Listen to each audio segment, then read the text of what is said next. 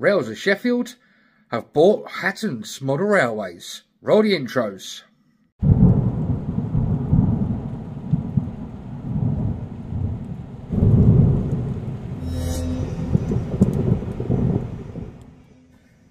Hello YouTubers and welcome back to Chelmswood Junction. I'm Peter. Now this is a bit of a different video today, tonight. Um, I've just had an email from Rails of Sheffield and I've just gone onto their website and I've just found out that Rails of Sheffield have actually bought uh, Hatton's Model Railways. Now, before we all start getting our hopes up and hope thinking that they're going to be coming back and you'll be able to buy things from them again, um, let me just read what they have put on their website. Oh, bear me two secs. So I'm going to look at the computer screen. I'm going to read this out. We are pleased to announce that we have now bought Hatton's Model Railways into the Rails family.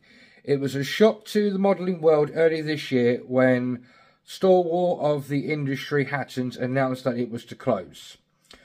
At Rails, we could not allow the legacy of this esteemed brand to disappear, and we have sought a way to keep the spirit of Hatton's alive. Many customers reached out to us, dismayed that the valuable resources on the Hatton's website, such as the product database, and expensive directory system may be lost forever.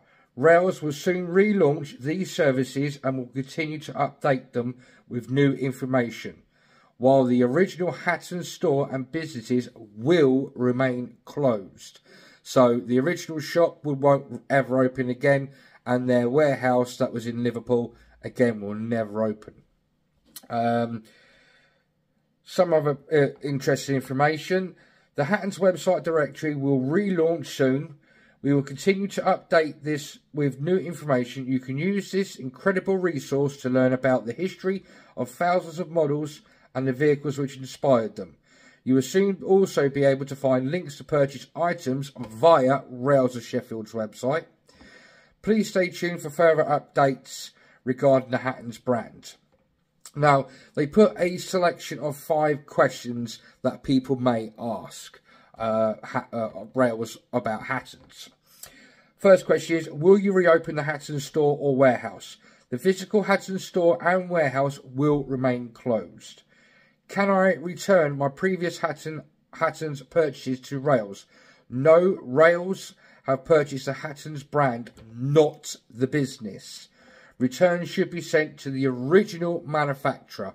So if you've got a problem with your Graham Farish loco, Hornby loco, Dapol loco, obviously you would send them back to the you know associated manufacturers. Will I be able to contact Hatton's directly? Answer, no, Hatton's is now closed.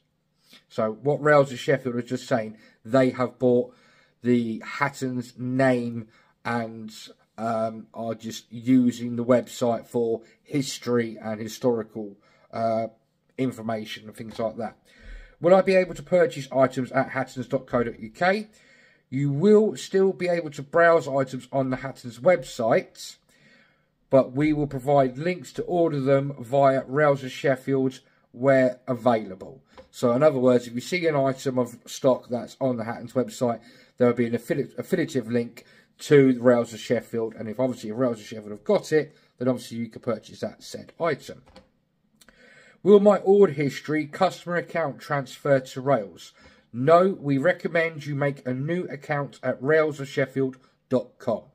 So basically, what the Rails have done is they bought the Hatton's name, they have taken over the Hatton's website, and they are basically, like I said, all like information about say like the class 43 HSTs, the A4 uh, like Mallard, A3 like Flying Scotsman, the P2 Peppercorn, you know, all the history about loco, locos, trains, uh, formations and things like that. That is what this uh, new enterprise of, Rails of Sheffield are going to be doing with the Hatton's brand name.